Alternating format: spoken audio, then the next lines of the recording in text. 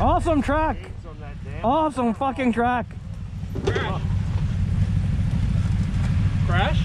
Awesome track. Oh yeah, I know. It was fun to just spin the bike around. Adam, could you pass me that rock? Just under the kickstand, please. Thank you, sir. Ground's pretty solid, actually. Ooh, Take the road